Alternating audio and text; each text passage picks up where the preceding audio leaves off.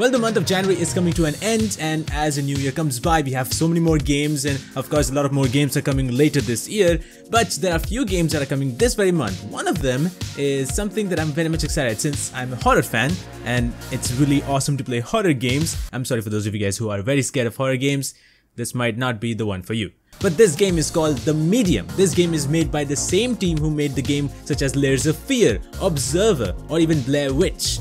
The Medium is going to come in Xbox and PC only, which means it's an Xbox exclusive. I'm sorry Sony fanboys, this game is just not for you. This game is also coming in Xbox Game Pass, which means you don't have to technically buy the game in Steam, you can just play it in Xbox Game Pass by paying that subscription fee. Well, I know that everybody knows about this game since we are very close to the release date, but there is a question, is the Medium somewhat of a spiritual successor to Silent Hill?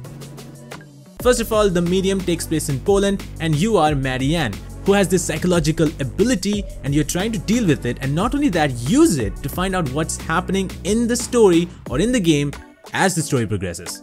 The ability allows her to be in two worlds at the same time, one being the real world and the other is the spirit world. This is very similar to Silent Hill where you are in a world with monsters, a world very different from the real world and not only that, the way that world is depicted with the colors of orange, you know how it's grungy and orange color, is the same in the spirit world of the medium and that's why the similarity comes across for the first time ever between medium and Silent Hill. However, the most important thing about this game is how you can see both the worlds at the same time. It's kind of a split screen kind of technique that they've used in this game and majority of this game is actually going to be in that same level. Of course, it might get annoying a little bit so that's why the game then shifts to only one world at a time.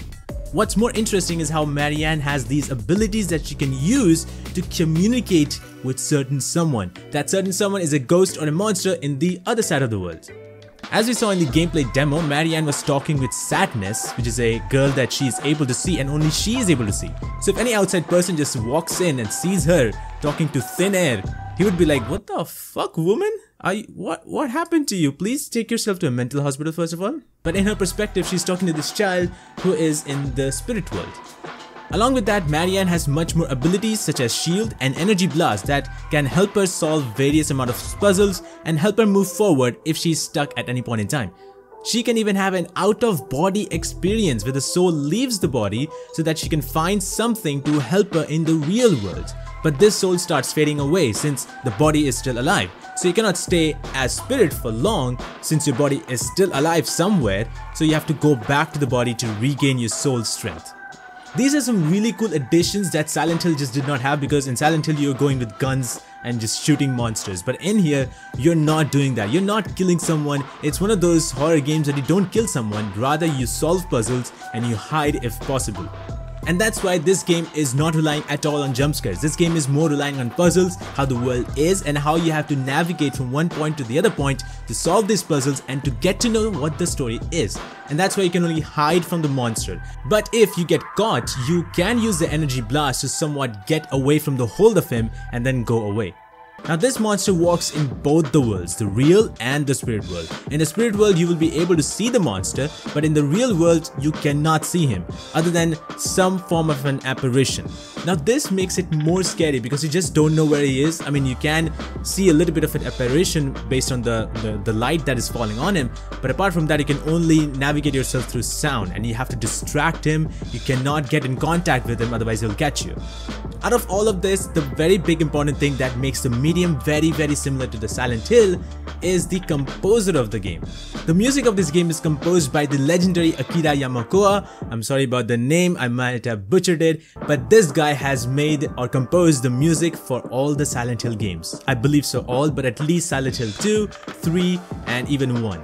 Now that makes it more interesting because Silent Hill did have a really awesome taste of music and you can feel it right here.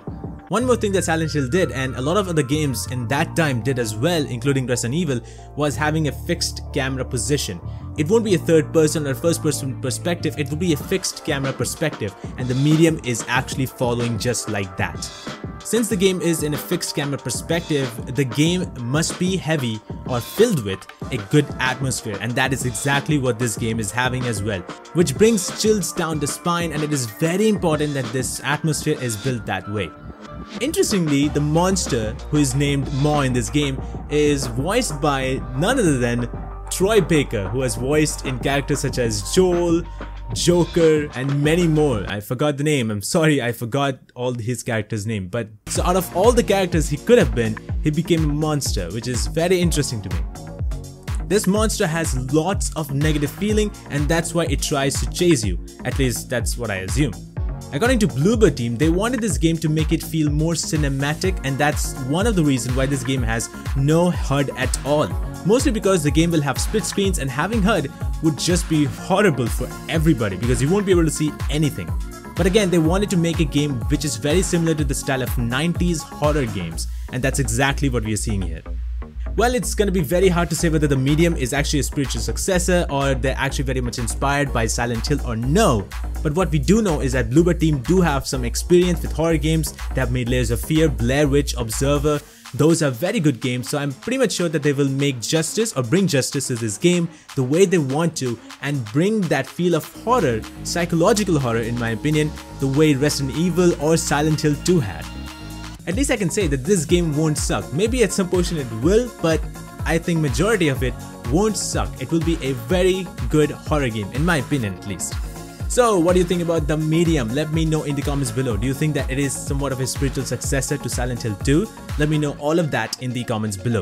And if you really enjoyed this video, hit that like button, helps me out a lot and subscribe to Gaming Madness channel because much more things are coming in this very channel. Don't want to miss that out.